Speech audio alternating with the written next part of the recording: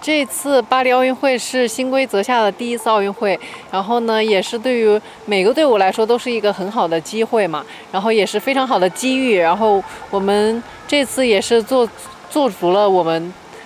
的准备，然后呢，在家里扎实的训练，然后呃。所有的困难，我觉得我们都在家里克服了。所以说，我们再次来到巴黎赛场上，我们就尽情的展现自己，然后最终的表现和成绩，我们都还挺满意的。首先，新规则的改变之后，其实难度更加量化了，所以对运动员的各方面的要求也变得更加高。所以呢，呃，这次同时还要兼顾集体和双人两个项目。压力还是很大的，呃，集体项目大家能够团结在一块儿，然后前两项拉开了比较大的分差之后，我觉得，呃，给大家奠定了非常呃好的基础，然后也增加了我们的信心，所以集体项目大家都非常完美的表现了。那双人项目呢，其实呃竞争会更加大一些，因为呃双人运动员其实都是呃。精英中的精英吧，其实都是天才之间的竞争。其实教练也好，领导也好，还是鼓励我们能够做好自己，把自己的完成质量和完成分打打上去之后，我们还是